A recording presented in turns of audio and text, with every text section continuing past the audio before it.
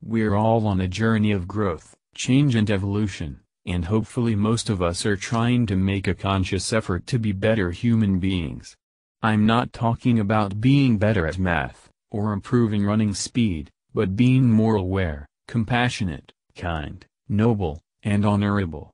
None of us are perfect, but by engaging in some of the examples listed below, maybe we can leave this world a little brighter than how we found it. Hello, welcome and a beautiful day to all. Today I am going to share 6 kind things you do in our daily life. We're all on a journey of growth, change and evolution, and hopefully most of us are trying to make a conscious effort to be better human beings.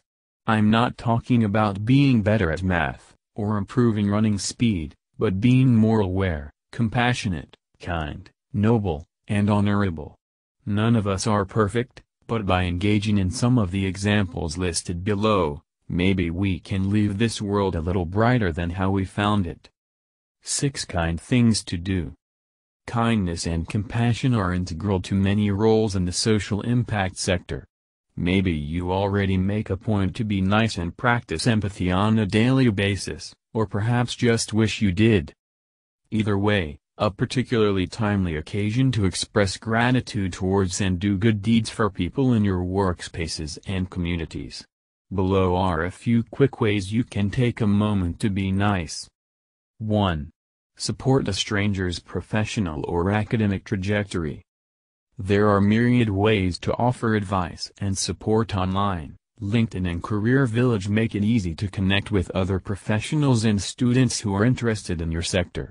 On LinkedIn, search for hash work and or hash hire to find and contact people who are searching for positions and might benefit from hearing some words of encouragement, gaining your insight or simply having someone with whom to vent and brainstorm. As makes sense, Alter your search to include a hashtag for your industry, or limit your search to members of your network, if you aren't so keen to engage with a stranger. Prefer to help students. Career Village provides a platform for professionals to answer student questions. Common topics include selecting a major, applying for college and finding internships. Don't worry about being an expert or providing definitive answers. Often hearing a different perspective is useful and worthwhile for people who are weighing multiple options. 2. Send a note of gratitude to someone who has made a difference in your professional or personal life. We all appreciate being recognized now and then.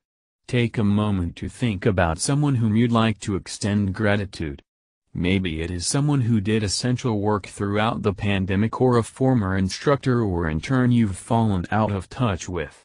If possible, consider sending a written line in the mail, many will be warmed by the gesture and grateful for a chance to look away from the screen.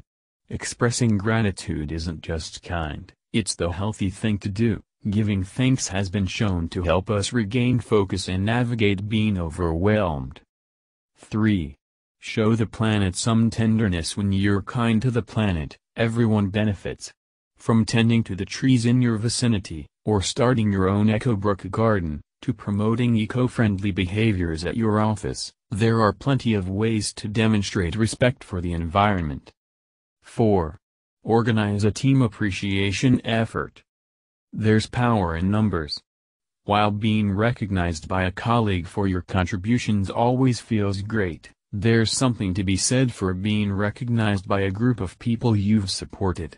Consider asking your teammates to pitch in to write a note and or send a gift to any deserving custodial and or support staff, especially colleagues who have shown up in meaningful ways throughout the pandemic. You could also opt to send a token of praise to any members of senior leadership who have been noticeably accessible, transparent or graceful about making challenging decisions. Let them know you understand the hurdles they've overcome and you appreciate their persistence and energy. 5. Volunteer virtually. Some may argue that our time and attention are the most valuable things we have to offer. Think about showing kindness by devoting an hour, an afternoon, or another period of time to a cause you support. If you don't already have an organization in mind, Visit our compilation of virtual volunteering opportunities and listing of mutual aid networks for inspiration.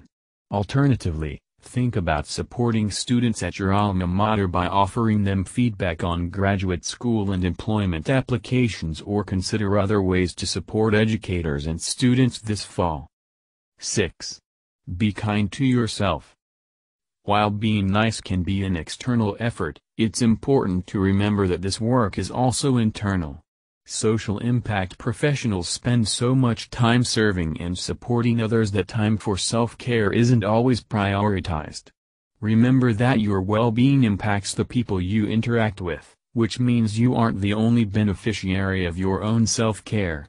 Whether you opt for making time to meditate, documenting your points of pride, or rearranging your workspace, how you care for yourself is totally up to you.